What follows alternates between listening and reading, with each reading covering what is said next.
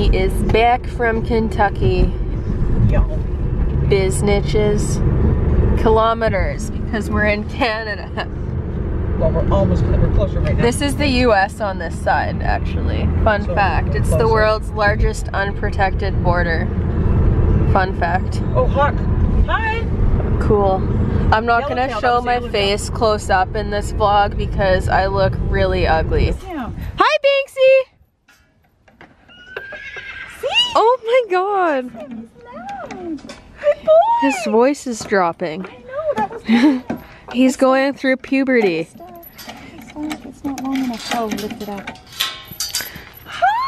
Can you close it? Because I have like 8 billion things in my hand. Banks! Oh! Hi, Banksy! Here he comes. Oh! This is this is Banksy and his good buddies, Giant George, the yearling, and then petite, cute little Audrey, who is his girlfriend, and he loves them. They're very nice. Audrey's very friendly. Looking like an adult man. Holy. Look at his bum. He's like, I don't skip leg day. He's like four and a half months old now. So he's shed it out mostly and started growing. Audrey, stop. Your friends left a crowd. Started growing his winter coat. You can see a lot more of his markings now, they're more contrast. And his mullet stocking is really coming in. High, high in the back, low in the front. This is his posse, his his people. They're always close by. George and Audrey are his good buddies. Audrey says, I love this camera and I want to eat it. Look at him being a good little walking man. Oh, he's so round and adorable. He says, I walk up hills, I do things. Right, Audrey? Hi, George. There goes Audrey to be with her little boyfriend. Good standing. Good job, Audrey. Take him for a walk. Come on, come on, Audrey. Come see me again. Come on, Aud. Come on, Audrey. Oh, she says I come without it now. Oh, yeah, see, look at his little legs right now with the shedding. They're the color of giraffe.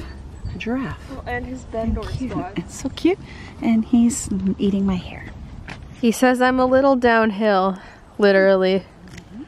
Literally. You're on a hill. Banksy, we've known you longer than your mom has. Good boy. Ew. He's like, I'm gonna eat the worst hay I can get. Oh, Elmo, you're so cute. He's so cute. is so pretty. He's so cute. I've got my mom and I'm patient. Hey, don't run me over. Oh, you're so cute. You guys could be in a blanket ad. Right? Oh, whoa, skidding. Go, go, go. Oh, oh, Banksy. You're gonna fall. Oh my goodness. You big idiots. Yeah, just use the whole field. Oh god, you're so cute. Oh my god. And the fact that he just arches his neck and shows off, just... Also surprised we got a new horse. This is Ogo Pogo, aka Pogo. He's George's half brother. They have the same mom, and he's two years old, so he's just hanging out for the winter um, and doing groundwork. Uh, he trained to race, worked once, never raced, um, and now he's here. So he's our little project. Uh, and yeah, really awkward looking right now. But he kind of looks like Gray George, so that's fun. And then this is Milo. Milo. was also like the only horse Milo actually likes, apparently. And Milo's mane got roached because he rubbed it all out. Dude, you're gonna fall. So Ogopogo. Are you okay, my friend? He has a sock. puts up with everything. Yeah. Pogo, you're so funky looking right now. The flies are bothering them. Yeah. And this is a Bubba's. Oh, Bubba's. Oh, she's so cute. So this is us in Shelby. So that's Phoebe's bum. That's her ass. Oops. And this is Shelby. Swearing, Shelby. Okay, it's well, not swear. It's just crude, but it's not swear. Anyway, so this is us driving along Zero Ave, and we are on our way to Banksy. everyone knows the and street you live on. oh, stop it! anyway, they already knew that. Um, so we're on our way to go get Banksy, who has actually been, in case people didn't know, he's been a strong, independent young man, and he has been self-weaning as they do, where he's been being quite independent and kind of hanging out with his buddies and further away from grandma and mummy, grandma mummy, and uh, and then he spent a couple of nights where they've been separated, and he's just been with his little herd, and uh, so there's the trailer. So this is going to be, he's coming to our place to actually finish off his weaning so that um, if they're calling out to each other at all, if they don't have to hear one another. And uh, he'll be going into a field with uh, another foal at our barn who's also been weaned and an old uncle, which is our barn owner's lovely thoroughbred named Humphrey. We're on to get our Banksy and he's going to come stay at our place for a while to finish his weaning and then he will either he'll stay with us maybe for the winter or he will go to he can go back or he can go to one of Shelby's clients places that has lovely fields. Smile Shelby. This is exciting. Bye. Okay, well I can smile. So Banksy lovers of the world, this is Shelby. We're just doing the trailer thing. Exciting things happening today. Um, we are at Banksy's place, and he is actually going to be finishing up his weaning at our home with another foal that's just gotten weaned at our at our property, and he's going to live with that baby and an uncle. Okay, and our un- and his and an old Uncle Thoroughbred belonging to our barn owner who is going to be amazing with them. And anyway, so Banksy, for any of you curious, when you've asked about uh, whether or not Banksy is weaned yet, and the answer has been no, it's because he's been doing sort of a slow, natural self wean, as they all do. And you've probably noticed from the standpoint of how um, how much time he seems to spend at a grand distance from his gra- from grandma mama and uh, yeah and he's had a couple of overnights where she's been inside and he's been with his little herd and so um, this is just going to be the last of it there's his best friend audrey with whom he's in the stall see so he's going to uh, come back to our place and live there for um, the few months or perhaps the winter and then he can either come back here or he's got another place he could potentially go. And so we'll see. But this is kind of an exciting day where our independent young man is going to come and finish off the weaning with another buddy where he can be. Um, if there's any calling, they don't have to hear one another. But as you can see, he's in here. This is Audrey, and she is his girlfriend. She's a yearling. And Banksy! Banksy, come here, my man! And there he is. And you can see he's pretty happy. He's not calling out for mama. He's already been doing his thing, but his this is his girlfriend. Hi, baby. And he's going to come. Hi, Audrey. She is the friendliest thing in all the land. And they love each other.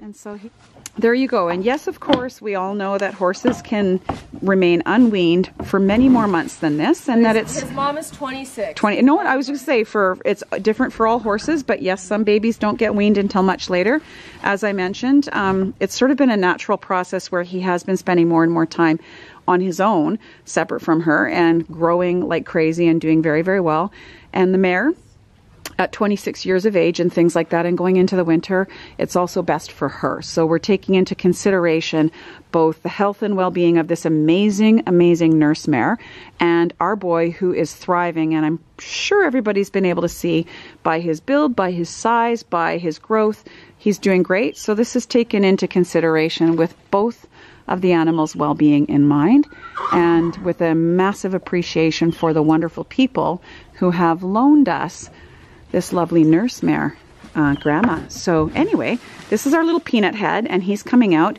to.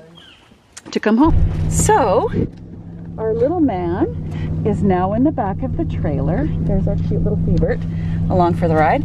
And he was actually, for a little baby, amazing at getting in. He was pretty quiet and it didn't take very long and we're very proud of him. And so now we are on our way for the little five minute drive to our home to bring our little baby there. And so I'm just gonna say in advance, because I know lots of people watch Shelby's channel and are really interested in her beautiful horses and care a lot about their well-being. So I'm gonna just say thank you in advance for any concerns that you may have with regard to Banksy's well-being, because we certainly appreciate people caring. But just to reassure you that everything that's being done with him right now has been done with his best interests as well as the mayor's best well, yeah, interests at heart. Just have to consider the fact that since he was on a nurse mare and since she's older, he's at the point now because he's almost five months old. Yeah. Where he's eating enough nutrients and doesn't need to nurse. Well, and has been semi self weaning. Yeah. And we have ho other horses to put him out with that he yes. can continue to and learn another social baby. cues from. For but, sure. Like at the end of the day, the mare's 26 and we're going into winter, so it's not she really had, fair to her yeah. to have him continue to nurse when he doesn't need to be. Yeah, so so needless to say, obviously for for the well-being of Mickey, the nurse mare, and for Banksy, and the fact that she's 26, out of respect for her and going into the and winter and the cold months, incredible. That, like, so it was decided that it obviously it was best to do it this way and have him wean. So his situation was kind of obviously more unusual in that um, he was put onto a nurse mare. So then some of the process of weaning and such gets adjusted in accordance with those kinds of special circumstances, which are of course different from having um, your foal with um, its biological mother and the options that you have for that. So yeah, so we're very, very appreciative of the incredible people who and the incredible mare that he got to be with. Um, but and baby is coming out now. Can I film it? Hi, baby. If you can film while, oh my god, his ass is like right Okay, good boy. You're skinny, so it all works. Hi, little friend. Yep. Isn't this exciting filming? This is a latch to the door. I'm not doing anything until I'm told to. Ooh, Okay, my man is right there. Good boy. Oh, good boy. Welcome home, baby.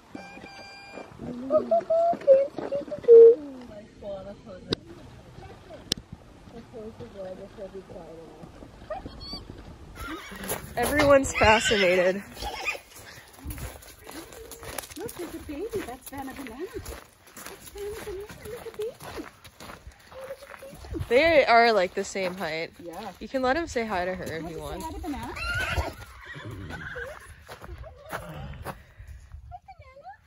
Aww. Oh, banana. Hi. Good boy. March. So I just wanted to reiterate the fact that the move wasn't something we initially planned, which is why I had said before that he wasn't going to be coming to my property for quite some time. Um, but it ended up working out where it would be better for him to have him off the property completely for weaning because it was hard for his dam. She kept calling to him and it was more stressful for him to be able to hear her. And then also with him on the property, her bag wasn't drying up as quickly as it should. So the owners wanted him off the property so that she could relax without being able to call for him and have him call back and it's just easier for the both of them. So my initial plan was different, but obviously like you guys know, I can't see the future, so this kind of changed and it wasn't me like lying to you guys. It's just a change of plans because I can't foresee everything, especially when we are using the generosity of someone else's mare for his mom. Anyways, the foal he is out with is a six month old Appaloosa colt that is owned by a friend of mine. We didn't end up having the other gelding out with them because he was being kind of nasty to Banksy and it wasn't safe. So we pulled him out of there for safety's sake. So it's just the two of them out together. And there is another filly on the property that maybe once she gets weaned, she could go out with them, but I don't really know what the plan is for that. But he has a friend that's basically the same same age as him. Anyways, this week has been pretty crazy for me because I also had two thoroughbred geldings come in on consignment, which means I'm selling them for their owner. The first one is a five year old 16 three hand thoroughbred gelding. He's very fancy, good mover, super easygoing, and easy to ride. He just ran a race last weekend, but was phenomenal settling in here and for his first ride off the track. So if you guys want more info on him, you can check out the link below in my description. But please only contact me if you're seriously interested for either one of them. And also, if you're under 18, I do require a parent or trainer to contact me first, just because in the past I've had a lot of people feign interest in the horses and waste my time when they're not even allowed to be looking for horses. Anyways, both of these geldings are phenomenal quality, and as they are right now, they would be suitable for a junior or amateur rider working in a program with a trainer, but they are also really fancy and would be professional quality for a pro who would want to produce them for resale or for themselves. They're priced in Canadian dollars, which means if you're American, you save about 30% because our dollar is lower than yours. And we can help you arrange shipping if you're out of area. This second gelding is a three-year-old 16-2 hand thoroughbred gelding, and he is the half-brother to the one that I just showed you prior to this one. He's also very easygoing and well minded and was perfect for his first ride off the track and has settled in well to being at this property. They're both really, really incredible minded horses, and I'm really impressed with them. He's a good mover. He has a big engine from behind and is built to be a very successful show horse in a number of different rings. So he's also a really nice horse to produce for a junior or amateur in a program or a professional looking for a horse to bring up the levels. Hi, George. Hi.